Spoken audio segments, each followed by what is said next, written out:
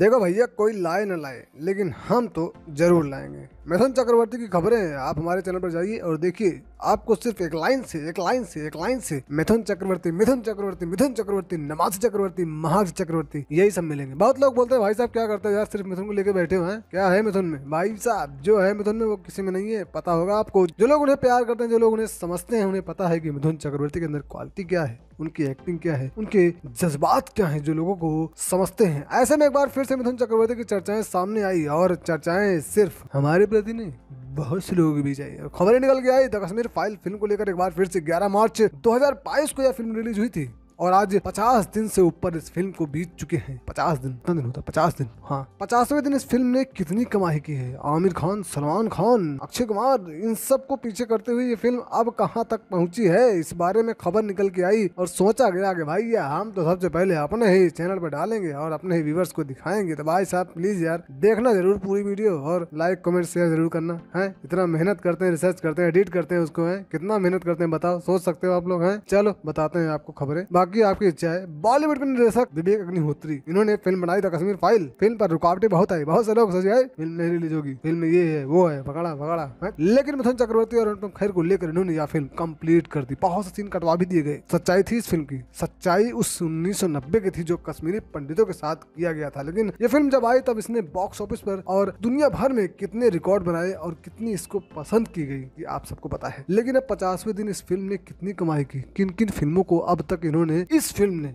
पीछे किया है। द कश्मीर फ़ाइल ने अपने बॉक्स ऑफ़िस कलेक्शन से सबको चौंका दिया है। 3.55 करोड़ रुपए के साथ शुरुआत करने वाली यह फ़िल्म वर्ल्ड वाइड 300 करोड़ रुपए का आंकड़ा पार कर चुकी है। इसके साथ ही Anupam Kher Mithun Chakraborty starrer the Kashmir file highest world wide gross बन चुकी है।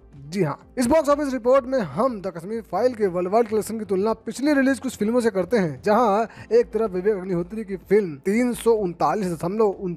करोड़ रुपए का वर्ल्ड वाइड कलेक्शन कर लिया है तो वही दूसरी फ़िल्म यानी कि आलिया भट्ट की गंगूबाई अक्षय कुमार की बच्चन पांडे, राजकुमार राव की बधाई दो शाहिद कपूर की जड़ थी और जॉन इब्राहिम की अटैक इन सबने कितना कमाई किया है। सबसे पहले हम बात करेंगे गंगूबाई की। गंगूबाई ने किया है एक छियानवे दशमलव छियासी करोड़ रुपए वही बच्चन पांडे ने किया है अड़सठ दशमलव इकसठ करोड़ रुपए। वहीं बधाई दो ने अट्ठाईस दशमलव तैतीस करोड़ रुपए। शाहिद कपूर ने चौबीस दशमलव चार करोड़ रुपए। वहीं जॉन इब्राहिम के अटैक बाईस दशमलव अट्ठावन करोड़ रुपए की कमाई की है। अब तक वही अगर तो कश्मीर फ़ाइल फ़िल्म की बात की जाए तो इस फ़िल्म ने तीन सौ उनतालीस दशमलव उनचास करोड़ रुपए की कमाई कर ली है। भाई साहब, इतने बड़े बड़े एक्टरों की फ़िल्म को पीछे छोड़ दिया। गंगूबाई बच्चन पांडे, बधाई दो। Jersey, attack. किसी का अटैक काम नहीं आया हालाँकि ऑल टाइम रिलीज़ की बात करें तो द कश्मीर फ़ाइल ने सूची में चौबीसवा स्थान प्राप्त किया है। दिलचस्प बात यह है की विवेक अग्निहोत्री की फ़िल्म कलेक्शन ने इतने दिनों के बाद सलमान खान की आई फ़िल्म एक था टाइगर को भी पीछे छोड़ दिया, ऋतिक रोशन की बैंग बैंग और आमिर खान की स्टार ठग्स ऑफ़ हिंदुस्तान को भी पीछे छोड़ दिया है। हाईएस्ट वर्ल्ड वाइड ग्रोस बनाने के साथ ही द कश्मीर फ़ाइल ने बॉक्स ऑफ़िस पर 50 दिन पूरे किए हैं। विवेक अग्निहोत्री ने इस बात की खुशी ज़ाहिर करते हुए लिखा है, आज द कश्मीर फ़ाइल ने सिनेमा घरों में 50 दिन पूरे किए हैं और अभी भी सफलता पूर्वक चल रही है, चल रही है, चलती रहेगी। यह सत्य है की जीत